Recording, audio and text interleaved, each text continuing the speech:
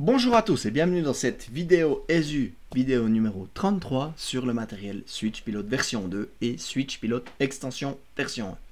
Comme la dernière vidéo, j'ai décidé ici de regrouper les deux en une, ça sera peut-être un peu long, mais pour moi c'est des choses qui vont ensemble. On avait eu le Switch Pilot Cerveau, Switch Pilot extension à part, et maintenant comme pour le Switch Pilot Cerveau version 3, euh, on va voir euh, tout ça ensemble.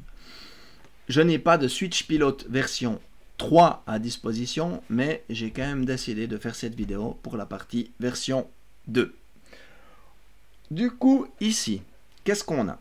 Dans cette vidéo, on aura, comme d'habitude, une introduction. On va parler câblage et configuration avec le log programmeur. À nouveau, je vais me concentrer là-dessus. Je ne vais pas faire euh, une vidéo où on configure ceci avec des CV ou avec les petits boutons qu'on a sur le décodeur. Euh, ça a été fait dans une vidéo euh, qui est sur euh, ma playlist si ça vous intéresse. Et ensuite, on va faire quelques démonstrations où on va aller un petit peu dans le détail de différentes choses. Et on va essayer de regarder tout ce que peut faire le Switch Pilot tout seul et le Switch Pilot avec son extension. À savoir qu'ici, c'est un petit peu le monsieur à tout faire, c'est l'homme à tout faire, ce décodeur. On peut faire pas mal de choses, vous allez le voir plus tard. Switch Pilot version 2 euh, ou Switch Pilot tout simple, c'est quoi? Décodeur d'accessoires qui permet de piloter principalement des éléments euh, magnétiques, électromagnétiques. J'ai mis 4 ou 8, tout simplement parce qu'on a des éléments bibobine et des éléments monobobine. Par exemple, un moteur d'aiguillage bibobine et un Detler qui est monobobine. Donc, si on aurait des aiguillages, c'est 4 aiguillages. Si on a 8 Detlers, ça serait les 8 Detlers. Plus deux moteurs servo. Donc je l'ai dit, principalement pour des aiguillages moteurs magnétiques. On peut aussi piloter des signaux, mais attention, signaux simples, hein, rouge-vert principalement, des dételeurs, des animations diverses et des éclairages. Au niveau alimentation, qu'est-ce qu'on a à disposition? Donc on a quatre sorties. Quatre sorties qui, pourront être chargées au maximum avec 1,5 A de consommation, 2 A en pic et 30 volts maximum. Donc ceci par sortie à savoir que le décodeur, lui, pourra fournir au maximum 2 ampères en continu et 3 ampères en pic.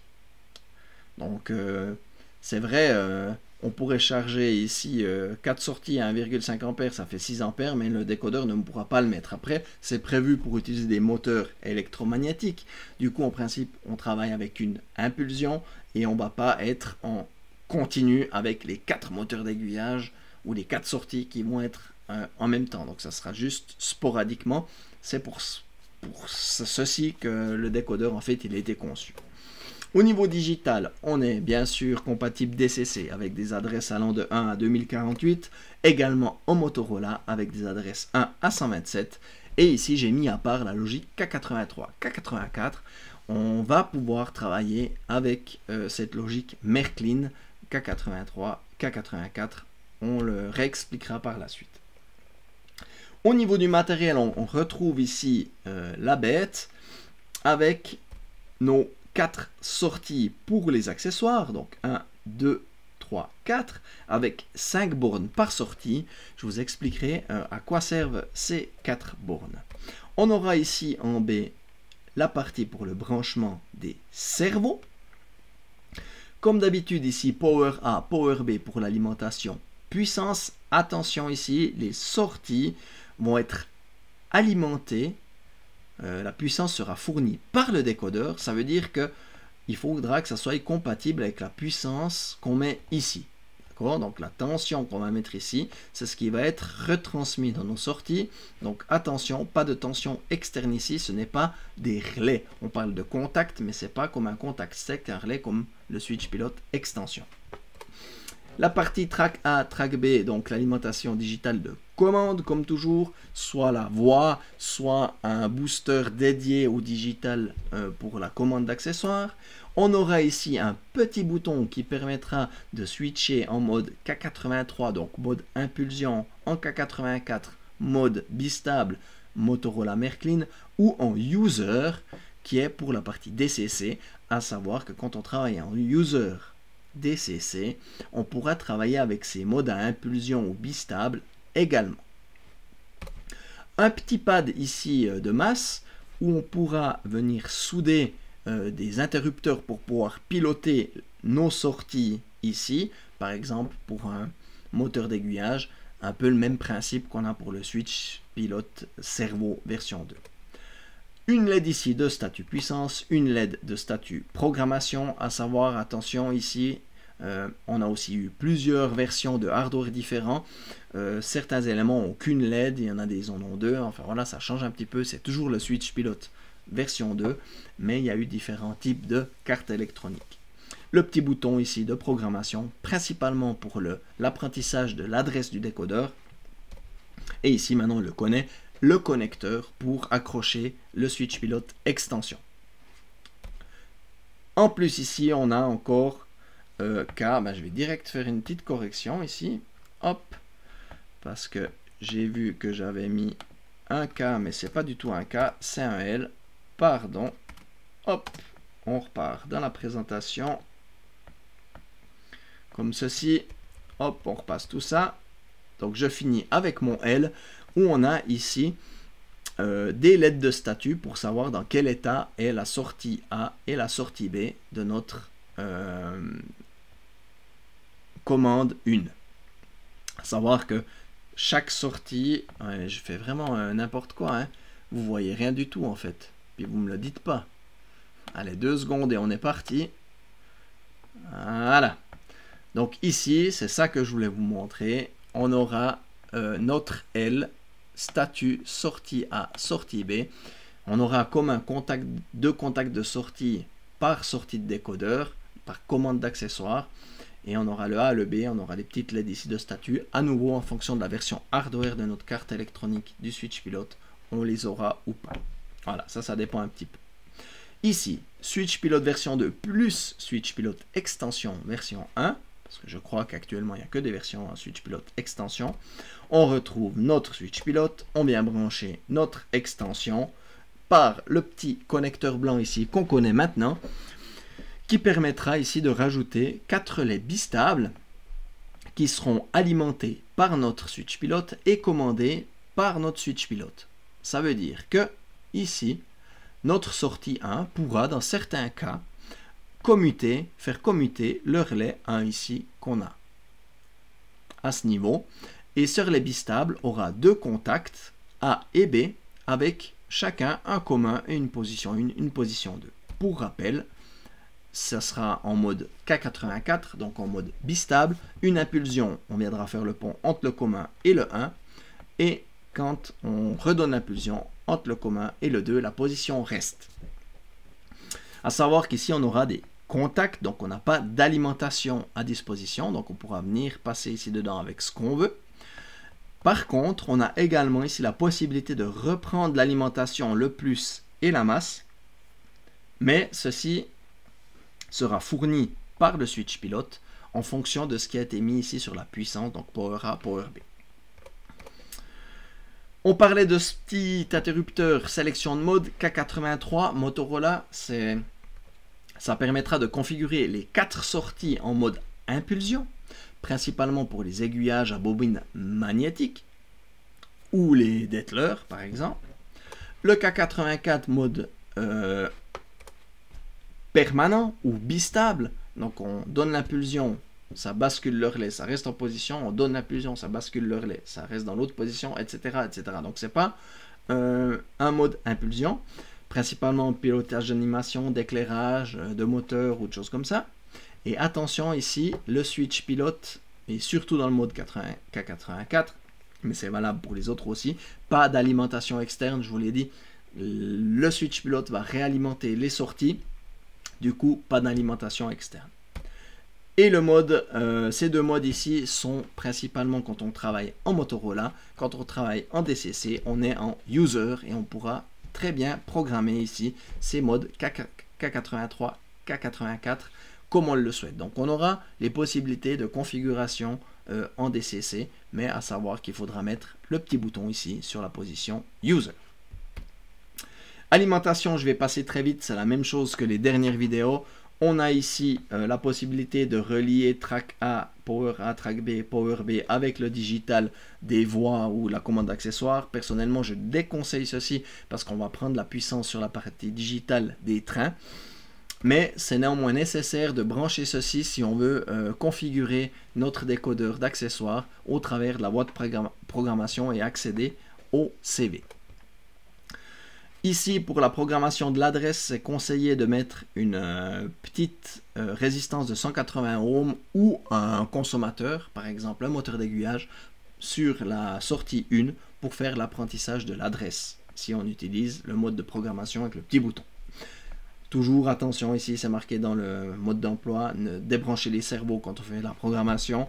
J'ai toujours un peu fait de la programmation avec les cerveaux branchés dessus, j'ai jamais eu de problème, mais c'est marqué dans le mode d'emploi. Pour la programmation avec le log programmeur, toujours la même chose, sur Power A, sur Power B, j'ai toujours mon petit bouton magique qui permet de alimenter depuis mon log programmeur Power A, Power B et ensuite de ponter justement le A sur A, le B sur B pour avoir toute la puissance, mais c'est seulement pour faire des petits essais laboratoires, respectivement les démonstrations que je vous fais dans mes vidéos. Le branchement qu'on doit retenir, c'est celui-ci pour moi c'est ce qui est viable. Track A, track B sur la partie digitale de commande accessoire ou les voies, bien que je conseille toujours d'avoir un courant digital traction et un courant digital commande accessoire. Et une partie ici, Net Style, c'est une alimentation externe qui permet d'alimenter notre décodeur comme on le souhaite ou comme par rapport à ce qu'on va brancher sur nos sorties. On parle ici de 3 ampères maximum, puisqu'on peut monter 3 ampères en pic. Après, ne soyons pas fous. Euh, il faudra pas mettre 3 euh, ampères fois le nombre de switch pilotes qu'on a sur la maquette. Hein. Ça risque de consommer un petit peu beaucoup de courant et d'avoir des alimentations trop grandes. Maximum 24 volts continu euh, pour cet élément. Respectivement, c'est ce qu'il y a dans le mode d'emploi. On va parler ici câblage, aiguillage et signaux sur nos sorties. Tout d'abord, ce qui est important de savoir, c'est que la borne commune de nos 5 bornes de sortie, donc on a ici la sortie 1, c'est le plus. Donc quand on travaille en continu, c'est la partie positive qui va être ici sur notre C. Ensuite, on aura out A, out B, ça sera le pilotage de nos sorties. Respectivement, on a toujours souvent deux petits boutons, un rouge et un vert, pour pouvoir piloter nos accessoires depuis nos centrales digitales. Ben, on pourra piloter position A, position B pour des aiguillages. Et si on a des, alimentations ou des, plutôt des périphériques euh, genre d'Etler euh, sur les voies où on n'a qu'une seule bobine, on pourra mettre deux bobines respectivement, une sur la sortie A, une sur la sortie B. Si on a mm, euh, qu'est-ce qu'il y a encore? Ouais, FBA, FBB, on en parlera plus tard. On va se concentrer déjà sur l'aiguillage, aiguillage électromagnétique genre euh, Merklin, on a notre aiguillage avec notre moteur, on aura un commun qui sera le fil jaune qu'on va mettre sur le pôle commun ici, et les deux fils bleus sur les sorties A et sorties B. Et en mode impulsion, on pourra ensuite faire euh, donner l'ordre de pouvoir bouger position A, position B. Si l'aiguillage n'est pas dans le bon sens, on s'attendait à ce qu'il soit courbe puis qu'il est droit, simplement inverser les fils sur A et B et ça fonctionnera. Je vous parlais ici du petit pad euh, pour piloter avec des boutons euh, version manuelle. On peut prendre ici euh, la masse, venir sur nos deux petits boutons et revenir directement sur notre bobine de chaque côté de notre moteur et on pourra ici commuter notre moteur d'aiguillage avec des boutons. À quoi ça sert? Pour moi, c'est peut-être pas très judicieux. Principalement, si on met un décodeur d'accessoires, c'est qu'on veut piloter ou automatiser. Probablement qu'on n'aura pas de bouton. Donc voilà pour le câblage moteur d'aiguillage. Câblage de signaux, signaux simples. On va aller jusqu'à deux feux. On peut faire une bricole avec euh, des signaux trois feux peut-être, mais deux feux. On a ici deux feux avec ampoule. Donc le commun ici qui viendra sur le commun et les ampoules sur out A et sur out B. On n'a pas de sens à respecter forcément ici puisqu'on a des ampoules. Il faut juste qu'on ait la bonne tension en alimentation de puissance pour pas que les ampoules Des signaux beaucoup plus répandus avec des LED. Donc là, attention, attention. euh, câblé juste, on a ici le commun avec le plus, ça veut dire qu'on devra avoir ici une anode commune. Donc si on a l'anode commune, on va câbler comme ceci. Si on a la cathode commune, c'est plus problématique. Du coup, on aura une petite résistance, bien sûr, hein, parce qu'on aura la tension qu'on aura mis dans notre alimentation Power A, Power B. Donc, dimensionner la résistance entre 1500 et 2000 ohms, souvent, euh, pour pas que nos LED claquent directement. Euh, parce qu'ici on aura un souci, elles, le 18 volts ou le 20 volts, euh, elles n'aiment pas beaucoup sans résistance. Donc voilà pour le câblage de signaux. On a ici la possibilité de rétro-signaliser également euh, la position des aiguillages. Alors attention, il y a beaucoup de débats là-dessus. Pour moi, c'est beaucoup d'énergie pour pas grand-chose parce que ce qu'on pourra rétro-signaliser, en principe, c'est souvent la position du moteur ou l'ordre qui a été donné sur le moteur, mais ça ne veut encore pas dire que notre aiguillage a vraiment bougé. Donc si on veut vraiment rétro-signaliser le contact de palette de notre aiguillage, euh, ça demande beaucoup d'énergie, mais on a la possibilité ici sur FBA et FBB, c'est des entrées qui permettront en fait de pouvoir retourner la position du moteur. Ici, dans le premier cas, euh, on aura juste l'ordre dans lequel il a été donné ou il est donné. Ça dépend si on a un contact permanent ou pas permanent. Et dans le deuxième cas ici, la plupart des moteurs euh, ont maintenant euh, des contacts à disposition qui permettent de donner la position du moteur. On viendra reprendre le commun, ici le C, et ensuite on va repartir sur FBB ou FBA. Euh, bien sûr, toujours avec le C, le commun, qui redonne le pôle plus. À savoir que ces rétrosignalisations être, pourront être lues uniquement par RAICOM. Hein. donc le système euh, euh, et ou Lens, je crois aussi, qui sont compatibles. Euh, c'est le seul moyen qu'on aura pour euh, retourner euh, ceci. Donc voilà, petite information, on va pas tester ceci dans la vidéo, c'est quand même un petit peu exotique pour ma part. Câblage des cerveaux, c'est comme dans les vidéos précédentes, switch pilote cerveau, si vous voulez plus de détails, je vous renvoie sur ces vidéos-là. Donc on a ici deux sorties cerveau, donc on peut brancher deux cerveaux. Attention, le branchement est noté ici, les fils plus, enfin moins, plus et signal. Donc on aura ceci avec notre petite fiche. Donc j'ai un exemple ici avec le GND, le VC c'est le signal brun, rouge, euh, orange. Euh, les euh, servomoteurs SU c'est noir, rouge, blanc. Donc faites attention à la polarité du connecteur. Il n'y a pas de détrompeur.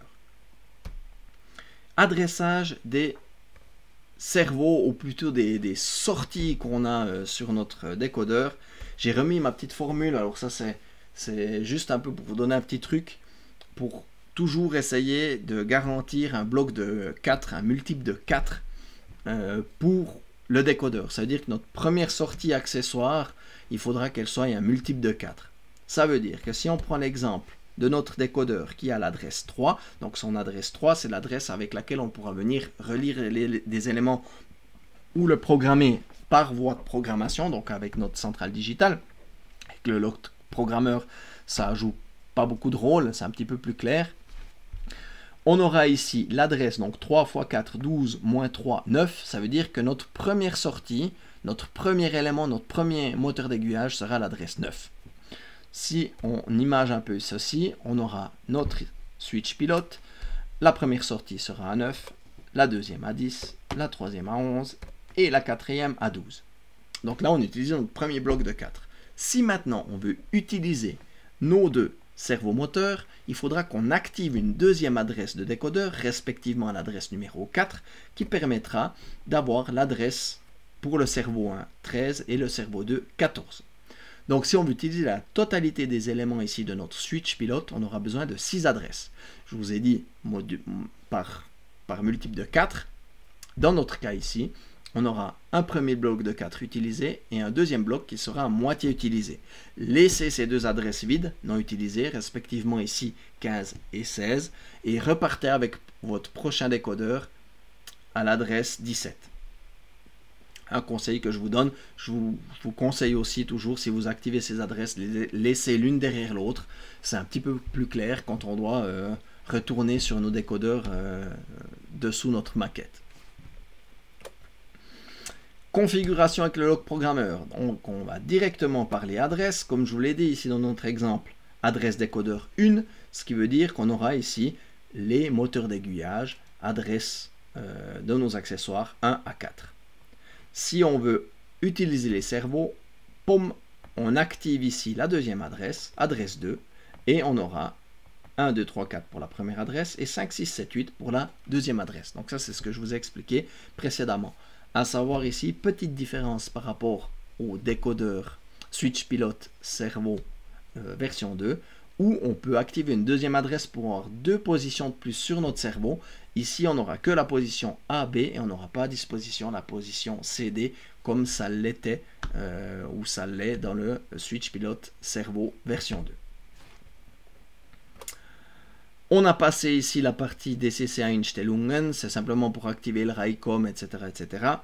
Euh, ce qui nous intéresse ici, la partie euh, configuration des sorties, où on retrouve nos quatre sorties. Donc on ne parle pas ici de cerveau, on le verra par la suite.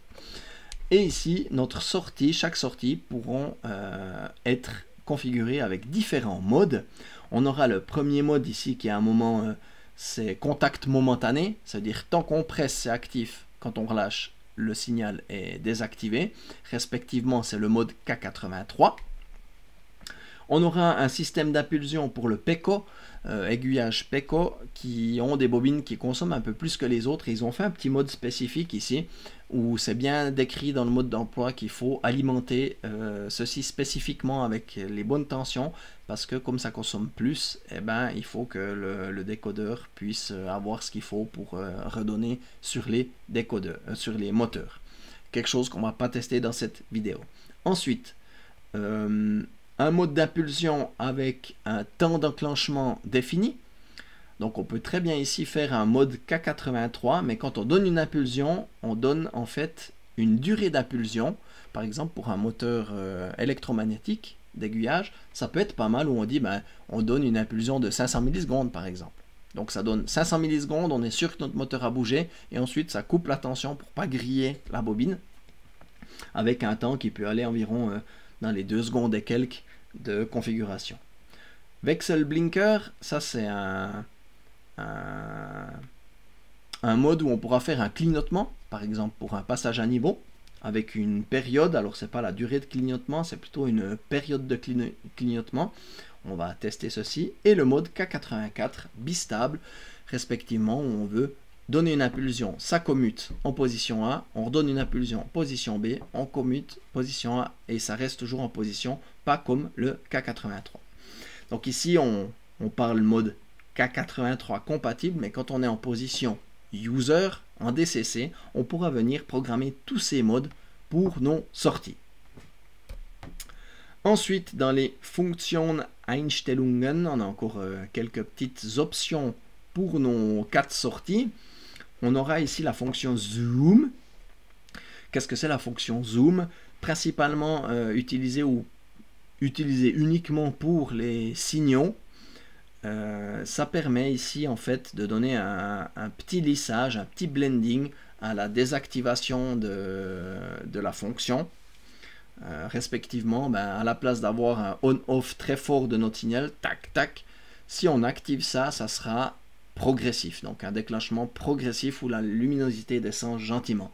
C'est pas comme dans les décodeurs de signaux où on peut tout programmer avec la période. Ici, on active ou on n'active pas, et c'est quelque chose qui endure dans le décodeur. Ou démonstration, ça fait déjà 20 minutes que je parle, donc maintenant on va passer aux, aux choses sérieuses. Je suis désolé, la vidéo sera probablement assez longue. Ici, on va un petit peu zoomer. On a ici notre adresse. Donc ici, j'ai l'adresse 3 de mon décodeur avec la première sortie qui sera l'adresse 9, 10, 11, 12. Et ensuite, j'ai activé directement la deuxième adresse, adresse 4, où j'aurai les adresses de sortie 13, 14, 15, 16. Donc j'aurai ici mes quatre sorties principales ici. Et pour mes deux cerveaux, j'aurai 13, 14. 15, 16 étant réserve et inutilisé. Einstellungen, on en a parlé, moi je laisse ça par défaut, c'est pour activer la rétrosignalisation de la position des moteurs, par exemple, voilà, si on a besoin. Et ce qui nous intéresse, intéresse ici, c'est euh, fonction Ausgänge. Je vais peut-être rapidement ici vous montrer sur quoi on va travailler. Donc on se retrouve ici avec un switch pilote version 2 avec la génération ici où on a deux LED et on a également ici les petites LED de statut de mes sorties A et B. Juste pour vous montrer, j'ai une deuxième version hardware où ici j'ai une seule LED et j'ai pas de LED de statut de mes sorties. Donc voilà, juste pour la petite histoire, ben, différence hardware de nos décodeurs, mais c'est toujours des versions 2. Comme d'habitude, j'ai sur le côté ici mon lock programmeur avec l'alimentation qui passe au travers de mon petit bouton magique qui permet d'alimenter uniquement euh, Power A, Power B pour la programmation et la puissance et la, commande euh, sur euh, Power A, Track A et Power B, Track B. Donc je vais utiliser uniquement ça pour vous faire la démonstration. J'ai pas d'alimentation externe. Mon petit bouton de mode ici sera sur User. J'aurai ici pour la première partie de la démonstration ma sortie 1 avec deux LED. Deux LED ici, euh, où comme je vous ai dit, le commun c'est le plus, donc mon plus vient sur les deux anodes de mes LED, et les cathodes avec une petite résistance ici, qui viendront sur out A et out B, pour simuler en fait euh, un signal ou euh, qu'est-ce comment ça va agir sur mon moteur d'aiguillage, etc., etc. On va voir un petit peu euh, avec ces modes comment ça va réagir. Sur ma sortie 2, une ampoule ici, qui elle est simplement branchée entre C, donc le commun, et sortie A, out A. Donc juste pour montrer qu'on peut utiliser des LED et des ampoules, à la différence près, c'est que l'ampoule, on la branche n'importe comment, il n'y a pas de polarité, elle n'a non plus pas de résistance puisqu'elle va supporter la tension d'alimentation de mon lot programmeur. Je vais renlever ici ma webcam pour qu'on voie qu'est-ce qu'on y programme. Donc je vais programmer mes deux LED tout d'abord en moment, moment betrieb et ma sortie 2 également. Donc je désactive ici la commande accessoire je vais ici charger mon décodeur. Donc on va passer un petit moment hein, dans, la, démonstration. Désolé, mais il faut chaque fois euh, refaire la programmation. Du coup, je me mets ici en mode de travail. Je vais aller dans ma petite commande ici d'accessoires avec l'adresse 9 qui est ma première sortie. Qu'est-ce qui se passe ici? Voilà, je presse le bouton. Tant que je reste pressé, s'allumer. Si je relâche, ça s'arrête. Typiquement, pour commander des aiguillages électromagnétiques, clac, clac, clac, clac, ou on pourrait très bien ici mettre aussi deux dételeurs qui sont euh, monobobines, un sur le A, un sur le B, et on aura un fonctionnement. Avec ici, je vous parlais des petites lettres de statut, Donc on les voit ici. Hein, pour la partie A et la partie B. Voilà. Si on commute la sortie 2, respectivement mon ampoule, même chose. Et on voit que ça s'allume, ça s'éteint, c'est très fort, il n'y a pas de lissage, euh, de progression de la lumière, c'est on-off. Très bien. Je vais me remettre en mode de programmation. Je vais devoir enlever la vidéo, sinon vous n'allez rien voir à l'arrière. Je vais maintenant tester pour notre sortie une, la partie impulsion avec une durée. On va mettre 89, c'est très bien. Et pour notre sortie 2, également une durée. Comme je l'ai dit, la partie impulsion pour PECO, on ne va pas tester. Ici, on va mettre une seconde juste pour voir la différence. On va programmer notre petit décodeur. On va remettre ici la vidéo pour voir ce que ça donne.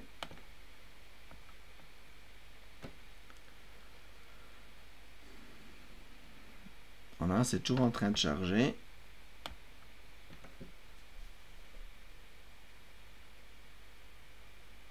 Oh Un petit problème de chargement. On va relancer le chargement. Ça arrive parfois, un petit problème de connexion. Voilà, c'est chargé. Du coup, on va même peut-être pouvoir augmenter un petit peu la caméra ici. Je vais sur mon banc de test. J'ai toujours ici mon adresse 3 avec sortie 9 et 10. Qu'est-ce qui se passe maintenant? Il euh, faut que je mette la puissance, pardon. Si j'active pas mon petit bouton magique, il n'est pas si magique que ça. Donc là, on voit la LED bleue 1, 2, elle s'éteint. 1, 2, elle s'éteint. Et l'autre côté, la même chose. 1, 2, elle s'éteint. Donc c'est vraiment une impulsion. Ça, on est dans le même mode qu'avant, sauf qu'on décide d'un temps d'impulsion, une durée d'impulsion, pour pas que par exemple quelqu'un euh, puisse presser pendant 10, 20, 30 secondes et griller la bobine de notre aiguillage. Donc on pourrait définir maintenant on veut 500 millisecondes et après on coupe. Et la lampe, même chose, 1 et ça s'éteint. 1 et ça s'éteint. Voilà. Donc ici, mode de programmation. Ici, impulsion. Si on repasse dans nos sorties, on va tester maintenant la partie Vexel Blinker, donc le clignotement. On va laisser les périodes que j'ai mis là, euh, le paramètre 42, et ici on en a 42 aussi. On programme et on va voir à quoi ça ressemble.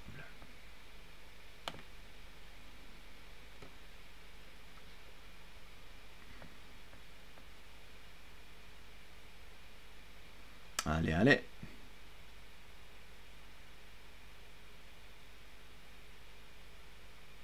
J'ai l'impression qu'il lui faudra aussi deux fois pour le recharger cette fois. Erreur. Voilà, erreur. On refait une fois, puis ça va aller tout seul. Les aléas de la l'électronique et de l'informatique. Voilà, je remets la puissance. Je vais dans mon petit test ici. On active. Et voilà. Avec le A, j'active la fonction clignotement. Avec le B, je désactive. Voilà, ça clignote. Si j'active aussi ma lampe, voilà, on voit qu'on a clignotement. On va juste essayer, c'était pas prévu ça dans le dans la vidéo, mais on va quand même essayer de changer un peu ces paramètres. On va ici diminuer. Et la sortie 2, on va l'augmenter. Et on va reprogrammer. On va voir s'il me faudra aussi deux fois ou pas. Donc j'ai simplement euh, changé la période de ma sortie une sortie 2, une plus rapide et une plus lente pour voir euh, euh, quel effet ça aura sur les, sur les sorties. Juste par curiosité. J'ai pas pensé à tester ceci, mais voilà, ça peut être intéressant. On va relancer la recharge, c'est rigolo, il me faut toujours deux fois pour que ça charge. Et des fois, ça veut pas, c'est comme ça. Je vais pas chercher, on va continuer cette vidéo, on va aller jusqu'au bout.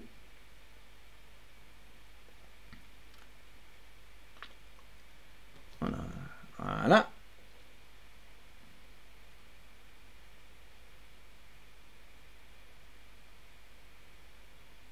Oh, j'ai l'impression qu'il faudra trois fois cette fois. Ah, quand ça veut pas, hein.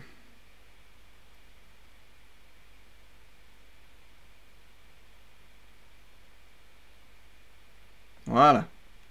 Donc là, j'ai basculé euh, où j'ai ponté la totalité euh, Power A, Track A, Power B, Track B, puis il a réussi à écrire dedans.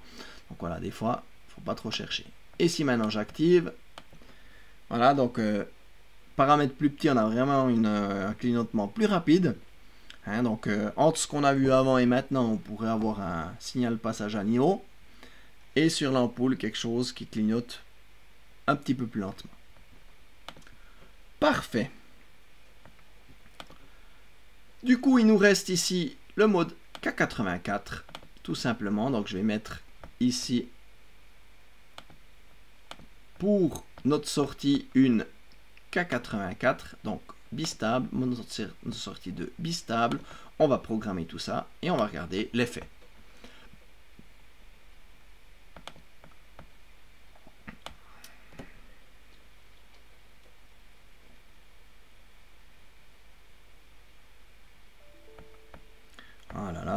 Quand ça veut pas, hein. Je pense qu'il faudrait que je coupe l'alimentation complète une fois pour euh, le réinitialiser correctement. Pour qu'on soit moins embêté avec l'écriture des paramètres. Voilà, c'est fait. Bande test, go, puissance. Qu'est-ce qui se passe? Donc maintenant on a vraiment mode K84. Je donne une impulsion sur A. J'ai la sortie A qui est activée. LED bleu. Je donne l'impulsion sur B. Sortie B. LED jaune. Voilà un mode on-off, par exemple pour la commande d'éclairage ou des choses comme ça. Et ben, la, la lampe, c'est la même chose. Hein. Donc ici, à savoir que quand on a ce mode bistable, on a toujours une sortie, la sortie A activée et l'autre éteinte ou inversement. Voilà pour cette petite partie de démonstration, première partie de démonstration assez longue, où on a vu un petit peu tout ce qu'on pouvait faire avec les sorties, les quatre sorties standards de notre suite Switch Pilote. Qu'est-ce que j'avais prévu par la suite? Ah, configuration aiguillage électromagnétique. Donc on va tester ceci. On va tester ceci. Euh, le branchement, on l'a vu avant, donc le pôle commun du moteur d'aiguillage magnétique en C et ensuite les fils bleus sur A et sur B. On va passer à la petite démonstration. Donc ici, on va partir sur la sortie 3. On va brancher un, je vais brancher un moteur euh, électromagnétique sur la sortie 3 et on sera en mode K83. Donc c'est ce qui a été euh, programmé auparavant. Du coup, au niveau de la vidéo, ici, on a... C'est un petit peu le Bronx de fil, mais c'est comme ça. Alors j'ai un vieux moteur, parce que je ne les utilise pas, moi. Euh, électromagnétique, ici, j'ai juste enlevé le capuchon parce qu'il bouge pas trop bien, il faudrait que je le règle. Du coup, j'ai pas voulu faire ça. On va, on va déjà bien voir si ça bouge.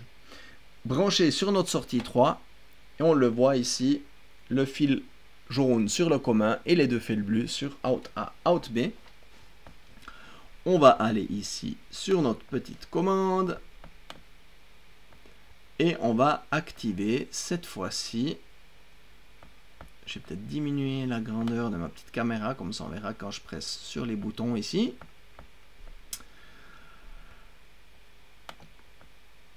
Il euh, faut que j'active la puissance pardon sinon ça va pas aller. Hop. Puissance.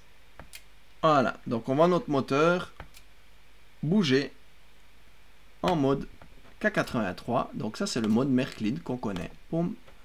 Alors, il bouge pas très bien, ça je vous ai dit. Alors, on a peut-être aussi un petit problème d'alimentation puissance euh, du log programmeur. Mais on, a vu bouger. Ce qu'on va encore essayer de faire ici, j'avais pas prévu non plus. Ce qui pourrait être intéressant, c'est par exemple de dire, je prends le mode euh, impulsion pour ma sortie 3. Donc, mode impulsion ici comme ceci, et j'y mets, mets, par exemple 500 euh, millisecondes environ. Je programme et je regarde si ça marche. Donc à ne pas utiliser le mode euh, K84 pour ce type de moteur d'aiguillage, sinon il y aura un problème euh, au bout de quelques changements d'aiguillage. Voilà, c'est programmé. On va remettre ici la caméra pour que vous voyez mon moteur d'aiguillage. Voilà. Donc l'adresse 3 qui est là, 11, donc la troisième sortie. Ah, il coince un peu. Hein. Voilà, on voit que là, il a bougé. Voilà, ça bouge. Et j'ai que une impulsion de 500 millisecondes. On voit aussi que ça prend du courant. On a la lampe ici qui descend d'intensité quand je pilote mon moteur d'aiguillage. Donc voilà, on va pas trop le faire, pas trop surcharger le log programmeur. Mais on a vu qu'on peut utiliser le K83 ou la partie impulsion. Voilà la petite démonstration que j'avais envie de vous faire ici par rapport à ce moteur d'aiguillage. Voilà. On va mettre ça de côté. Pour la suite, on va parler maintenant cerveau. Cerveau, même chose que les vidéos, je vais essayer de passer rapidement. Donc, vidéo précédente sur Switch Pilote Cerveau, c'est la même chose. On aura ici nos deux cerveaux, on aura ici les deux paramètres de vitesse pour la position AB, la position AB et quelques effets, notamment des oscillations qu'on peut mettre sur les positions avec euh, le nombre d'oscillations et l'amplitude. Ensuite, on aura dans les fonctions Einstellungen ici la possibilité encore de décider si on veut mettre euh, la puissance sur le, cerveau quand on a une commande uniquement, qu'on coupe la puissance quand on arrive en position, etc. etc. Et c'est tout pour le moment. Démonstration. Donc ici, je vais, comme je vous l'ai dit, on a activé le deuxième bloc d'adresse. Donc on aura l'adresse 13 et on a notre cerveau, on a la vitesse, position A, position B, la position A, la position B. Donc j'ai mis des positions euh, assez, assez larges. Et je n'ai mis aucune, euh, en dessous les petites fonctions d'effet, j'ai mis aucun effet. On va simplement faire bouger ici notre moteur qui est simplement là comme ceci, branché ici sur ma sortie une cerveau qui sera ma 13. Donc on a notre petit cerveau ici. Comme j'ai programmé le décodeur auparavant, tous ces paramètres sont déjà dedans. On va venir ici, puissance, on va passer l'adresse suivante, l'adresse 4 pour avoir l'adresse 13 ici de mon décodeur et voilà, on a bien notre servomoteur qui bouge aux positions qu'on a décidé. Je ne vais pas vous refaire des essais avec la vitesse, la position et changer tout ça. Je vous laisse regarder mes vidéos précédentes si ça vous intéresse. Donc voilà pour ceci. Donc on voit qu'on peut utiliser aussi les cerveaux. Si on retourne maintenant à notre petite présentation, euh, on va parler maintenant extension et polarisation de cœur d'aiguillage. Donc on retrouve ici notre euh, petit switch pilote version 2. On aura à la suite l'extension qui sera branchée. Et je réexplique rapidement ceci. Euh, pour que ça fonctionne bien en deux rails au niveau des aiguillages, c'est presque nécessaire de réalimenter en fait le cœur d'aiguillage avec la bonne polarité des voies en fonction de la position d'aiguillage. On aura donc ici les deux pôles de voie. J'ai pris 0 et B par rapport à la nomination SU. Donc pour la partie courant de traction, on va mettre ce 0 et ce B sur le contact 1 et le contact 2. Euh, peu importe si on utilise euh, le contact A ou B de notre sortie c'est égal. Et ensuite, notre commun, comme c'est un contact simple inverseur, va réalimenter le cœur d'aiguillage respectivement. Si maintenant on a notre aiguillage qui est courbe ici, on devra alimenter le cœur avec le 0 pour que le train suive et pas de court-circuit et qu'on ait toujours bien l'alimentation qui joue. Et si notre aiguillage est droit, on aura le cœur d'aiguillage qui sera alimenté avec le B. Si ce n'est pas le cas, votre locomotive va s'arrêter ou faire des sens inverses comme ça, tic tic tic tic tic. Il faudra simplement inverser ici les deux fils des contacts 1 et 2 et ça fonctionnera. Donc on aura notre cœur qui pourrait être alimenté en 0 ou B.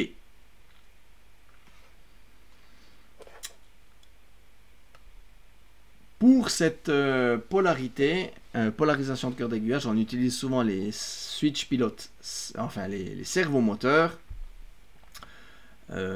Du coup, ici, on va dans les fonctions d'Einstellung simplement activer le retard à l'enclenchement de notre relais de l'extension. Si on ne le fait pas, dès qu'on va donner l'impulsion au moteur de bouger, il va l'inverser. Nous, ce qu'on veut, c'est que la palette commence de bouger, puis au milieu du mouvement, on inverse la polarité. Donc, comme pour les switch pilote servo version 2 et 3, où j'ai un peu plus détaillé la chose, simplement venir activer ici ces options. Et pour le petit test, je l'ai fait déjà dans deux autres vidéos, donc je passe rapidement. On va tester ceci avec notre switch pilote et notre extension, avec simplement deux LED pour voir à quel moment la polarité va changer de notre relais bistable. Hein, c'est à l'inverse de l'alimentation du cœur. On aura un commun ici qui va alimenter soit une LED, soit l'autre. Comme ça, on pourra voir à quel moment la communication se fait. Démonstration, ça sera également assez rapide. Donc on l'a vu, on a configuré notre cerveau 1 ici avec les paramètres euh, qui vont bien. Et simplement, euh, pour que ça marche bien, on va venir ici activer euh, le retard à l'enclenchement de notre relais pour qu'il commute au milieu du mouvement de notre servomoteur. C'est en train de charger, on va mettre la petite vidéo. Respectivement, on va ici accoupler notre extension. Voilà. Alors ne faites pas ça comme moi. Euh, euh, avec la, la, tension active. Hein, normalement, on doit faire ça quand on n'est pas sous puissance. Peut-être pour ça aussi que mon décodeur euh, merde un peu, comme on dit. Voilà, c'est configuré. On va agrandir un petit peu ici. On a donc ici notre extension avec ici euh, la commande et j'ai simplement mis une petite LED. Ce que j'ai changé aussi, c'est que j'ai repris cette fois l'alimentation directement des bornes ici pour ma LED où le GND vient sur le commun. Ensuite, petite résistance sur euh, les cathodes et l'anode commune qui reva au plus. Simplement euh, comme ceci. Euh, qu'est-ce qu'il faut dire encore ici important? C'est là qu'on commence euh, d'avoir le, souci quand on met l'extension. Si on veut utiliser l'extension avec des éléments électromagnétiques de nos quatre sorties ici, on aura un problème si on voudra piloter quelque chose avec notre cerveau. Quand on active ici le retard à l'enclenchement, il pourrait être commuté par plusieurs choses. Donc attention à ce qu'on fait.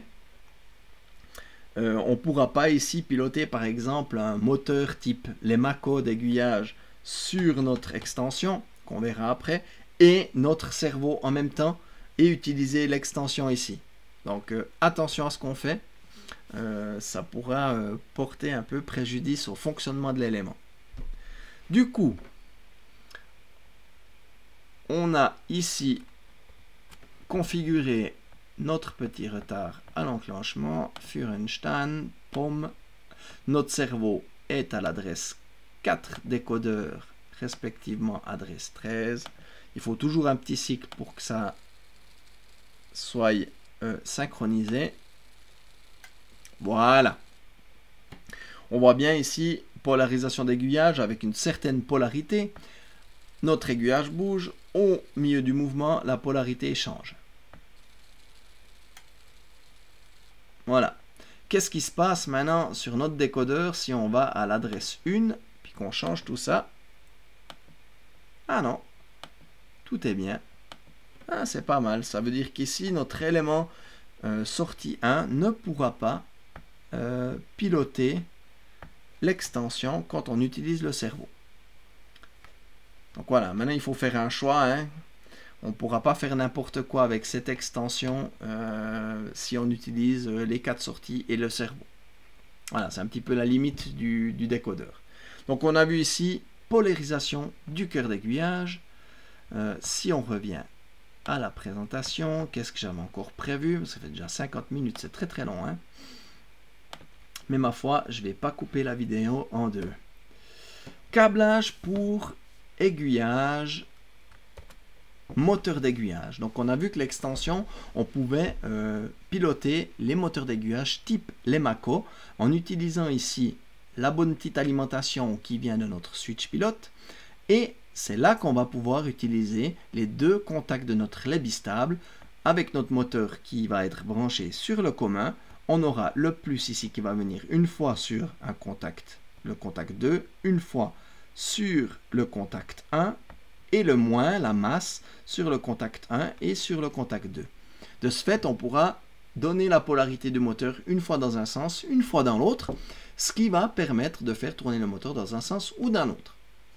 C'est le décodeur qui permet de piloter, enfin le décodeur DESU, qui permet de piloter ces moteurs. Personnellement, euh, ça m'embête un peu d'avoir euh, un décodeur d'accessoires plus encore une extension par rapport à certains décodeurs qui font ça tout seul. Et sur ma chaîne, vous allez en trouver, euh, j'en parle notamment. Attention ici, valable que pour les moteurs qui ont des fins de course, parce que le signal sera permanent, contact bistable, ça veut dire qu'on sera permanent. Donc il faut bien que le moteur ait son fin de course pour couper l'alimentation quand il arrive en position. Rapidement, petite démonstration. Je crois que ça sera bientôt la dernière. Je vais juste contrôler ici. Euh, on va enlever le, la commutation du relais euh, comme ceci. On va programmer ceci sur l'adresse 4 qu'on va mettre en bistable directement. Donc sortie 4. Je programme mon petit truc. Voilà. Également, on va remettre la petite caméra d'essai. On a ici la sortie 4 qui n'a rien du tout parce que je pilote simplement rien. Je vais simplement piloter ma sortie 4 qui, elle, va piloter le relais euh, bistable de mon extension. Puisque si le cerveau ne l'utilise pas, ça va commuter directement. Donc dès que je vais activer, ça va commuter. Et ici, je vais enlever mon petit servo moteur. J'ai un petit moteur Lemaco, respectivement ici. Voilà, comme ceci. Et au niveau de mon câblage, c'est exactement ce que je vous ai montré avant, où je reprends ici l'alimentation euh, plus-moins qui vient de ma puissance du switch pilote. Et mon moteur sera branché ici sur les deux communs qu'on a ici. Et ensuite, on aura le plus qui viendra une fois sur le contact 1 et 2 et le moins contact 2 et 1. Et on verra ce que ça donne. Donc, c'est programmé. Boom. On. On verra aussi euh, si ça fonctionne avec l'alimentation du log programmeur pour ce petit moteur. Donc, j'ai l'adresse, la sortie 4 qui a l'adresse 12. Hop là. Ouais, pardon, j'ai oublié d'activer la puissance avec le bouton magique, comme toujours. Bravo Joël. Je marque des points dans cette vidéo. Voilà, donc on voit bien notre moteur qui bouge. Et c'est le moyen qu'on a de pouvoir piloter un moteur de ce type. Avec ici, typiquement, les contacts fin de course qui nous permettent de rétro-signaliser qui pourrait nous permettre de rétro-signaliser la position du moteur qu'on pourrait retourner ici sur notre euh, FBA et FBB de notre sortie 4. Voilà pour cette démonstration que je voulais encore vous faire dans cette vidéo. Pardon, c'est très très long. quand j'atteins les 45 minutes, je suis déjà euh, un peu mal à l'aise, mais là on va atteindre l'heure. Un peu gênant, désolé, j'espère que vous passez quand même un bon moment, que vous n'êtes pas endormi. Et c'est brutal, très brutal euh, la suite de la présentation, puisque je vais enlever la caméra des essais et ça sera déjà, ou enfin, la fin de cette vidéo. Donc on a vu dans cette vidéo un décodeur, c'est le décodeur de base, le décodeur simple euh, des U, entre guillemets, euh, le décodeur à tout faire. Et, mais il y a beaucoup de choses à dire pu faire deux parties, moi je décide d'en faire une. Et c'est là qu'on voit aussi euh, une, nouvelle utilité de la, du switch pilote extension. J'en ai parlé dans la vidéo spécifique extension. mais j'ai pas présenté parce que je voulais avoir le décodeur switch pilote euh, pour faire la présentation. Euh, j'ai dû me procurer un petit moteur électromagnétique, un moteur, une ampoule, une lampe. Là, il vite que je trouve ça dans mes caisses afin de vous montrer un petit peu ce qu'on peut faire et dans quel mode on peut utiliser ce décodeur. Donc, vous avez vu, euh, je ne veux pas dire que c'est complexe, mais on peut faire beaucoup de choses euh, avec ce décodeur et configurer différents modes sur ses sorties, mais néanmoins très intéressant parce qu'on a la possibilité de faire pas mal de choses. On peut typiquement commander quatre moteurs d'aiguillage et on pourrait mettre par exemple un cerveau en plus sans commande euh, switch pilote extension simplement pour par exemple piloter une barrière une porte de hangar ou des choses comme ça donc décodeur néanmoins euh, très intéressant J'espère que vous avez eu une vue d'ensemble de ce décodeur, que ça vous a donné des idées, même que la vidéo est, longue, et que ça pourra vous aider. Voilà, comme d'habitude, je me réjouis de vous retrouver dans une prochaine vidéo. Je ne sais pas encore ce que ça sera. Euh, l'avenir nous le dira. Allez, au revoir les gens. Bye bye.